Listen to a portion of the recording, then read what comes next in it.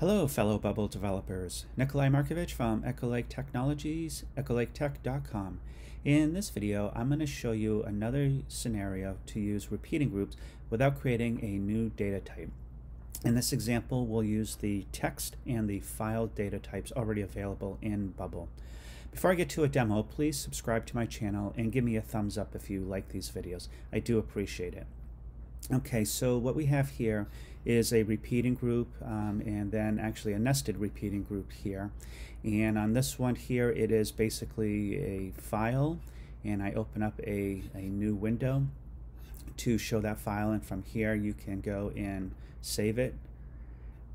Now this is just an image, but it could be any sort of uh, Excel file or a PDF file or whatever it may be in your use case. And then over here, I have it for a URL.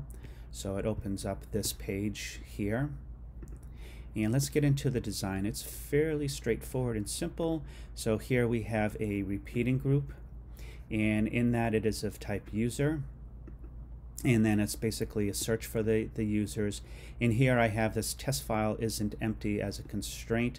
Uh, for this demo, the reason I have that is so that I just pull the users that have a, uh, test file with some data in it in your scenario, you'll probably have a different uh, constraint for your design.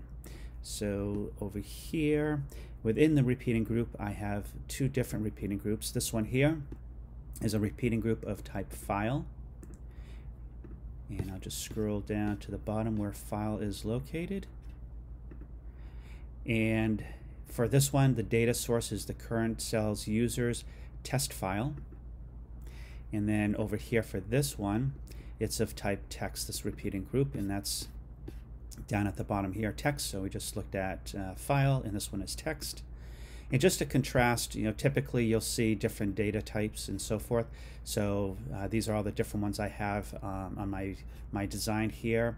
Um, so this one is just out of the box text, and for it, it is current users uh, test URLs. Let me just jump over to the data design here for users and under data types.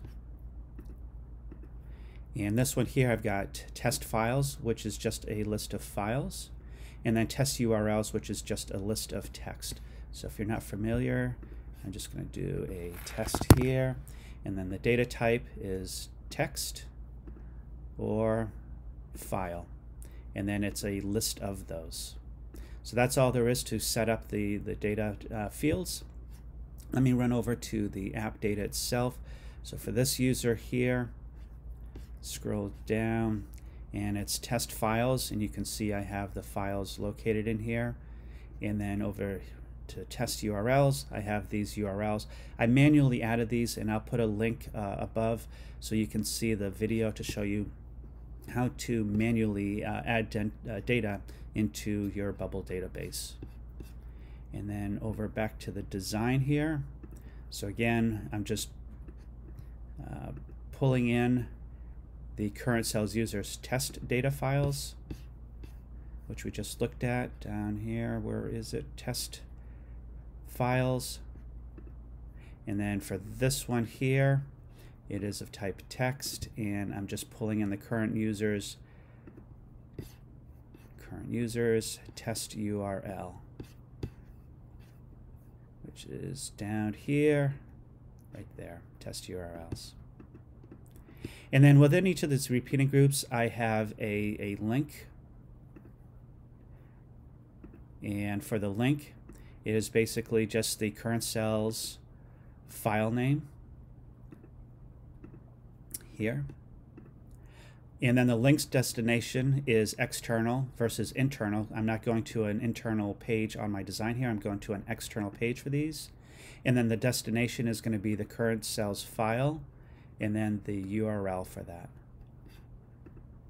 And then open in a new tab so that when this is clicked, it opens in a new tab instead of the existing tab that the app is running in.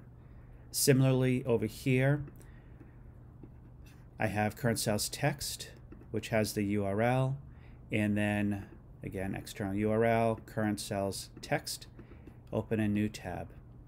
So let me just quickly go over here to add a repeating group if you're not familiar. So repeating group under containers. And I'm going to just change this to 2 to give a little more space. And the type of content, again, we're using text and we're using file. I'll go through it with the text here. The data source is going to be the current cell's users. And then down here to test.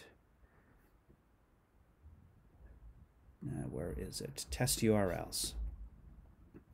And then within each of the cells, scroll back up here for the elements, and it's going to be a link. And so I'm going to put a link inside the repeating group. And then dynamic data, current cells text. And for this one here, this is yeah the URL, so external. And then it is going to be current cells text. And that is it and then also open a new tab. So that's basically how you add the repeating group as well as the link within the repeating group. And then the data structure, again over here for it, is just simply using the out-of-the-box um, bubble text and file. So list of files and a list of text here.